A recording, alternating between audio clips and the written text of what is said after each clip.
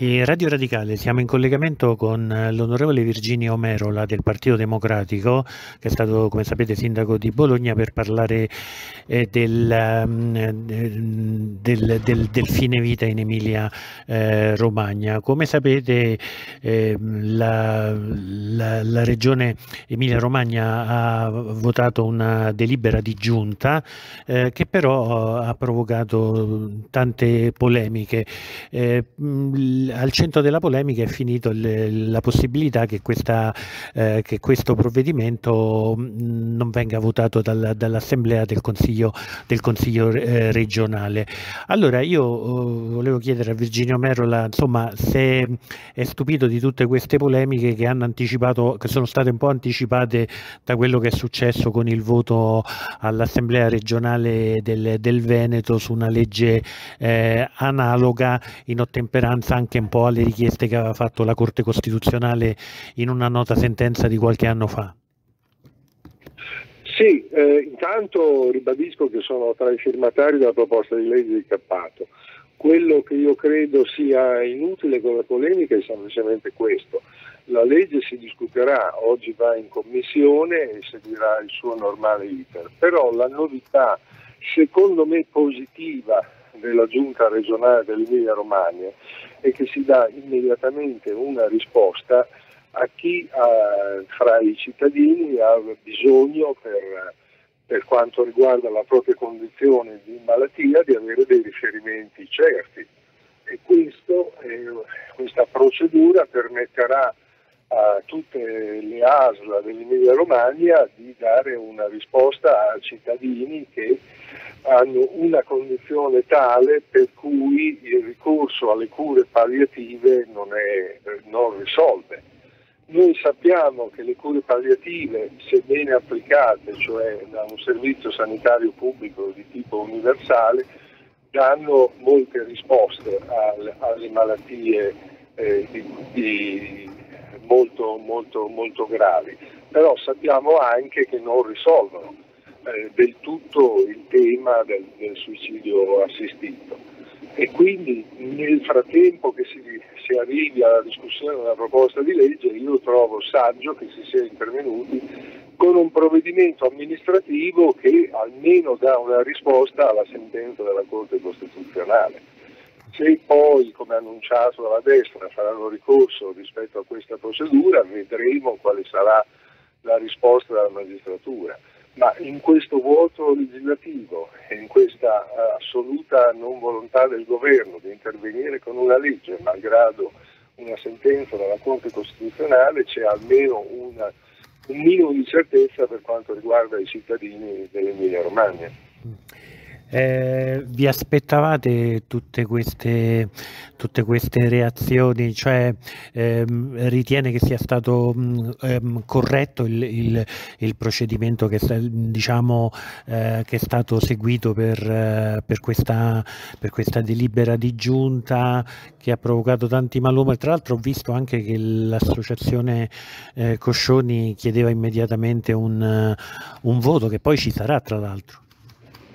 Il voto ci sarà eh, e io penso che sarebbe bene che tutta l'Assemblea regionale lo approvasse, anche quelli che sono iscritti al Partito Democratico che hanno dei problemi di coscienza, perché io ritengo che eh, comunque al di là di quello che uno pensa, eh, penso sia giusto permettere a chi non è credente o non condivide la proposta di legge di permetterlo agli altri.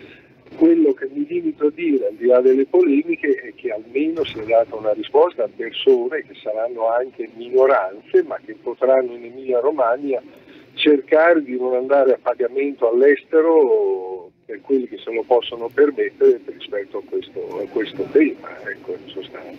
Sì. Um si aspettava la reazione del Cardinal Zuppi su questa, su questa scelta? Sappiamo, eh, insomma, Zuppi da, da, che, che, viene insomma, dalla, è molto vicino alla vostra realtà, le volevo chiedere se... Il nostro cardinale, quindi sì, è il cardinale di, di Bologna oltre che presidente della CEI. Beh, io penso che sia la posizione della Chiesa, ma detto questo penso che in realtà eh, nessuno voglia eh, non assicurare il diritto alla cura. Il diritto alla cura è fondamentale. Detto questo, ci sono dei casi dove la cura non, non risolve e quindi io penso che sia invece giusto permettere che delle persone davanti a una malattia dove le cure palliative o la rinuncia semplicemente alla cura, che è una cosa che già, che, che già si fa, possa avere una risposta rispetto a una condizione di sofferenza e un dolore che è insopprimibile. Purtroppo non sempre è possibile eliminare completamente il dolore fisico dovuto a una condizione di solitudine estrema come come capita in questi casi. Oltre al dolore c'è l'estrema solitudine e l'insopportabilità di una vita senza dignità. Ehm, che cosa, lei che cosa aveva pensato quando aveva visto che mh, la legge eh, in Veneto non era passata per il voto di una di una consigliera del vostro partito, poi c'erano state anche delle, delle, polemiche perché il segretario provinciale di Verona aveva tentato a, di rimuoverla dal, dal suo ruolo di vice segretario provinciale del PD a Verona. Ma io penso che sia stato un errore, sia stato un errore tentare di rimuoverla. Detto questo, io continuo a credere che al di là delle proprie opinioni eh, si dovrebbe permettere di esercitare eh, un diritto anche se non si si riconosce in quella, in quella posizione in sostanza. Quindi non condivido. Detto questo eh, ho trovato anche abbastanza grave che rispetto a una differenza di opinione ci fosse chi volesse intervenire con una specie di provvedimento disciplinare. Sì. Ehm, le volevo chiedere ehm, eh, se la, la, la delibera di, di, giunta è applicabile già da questo momento.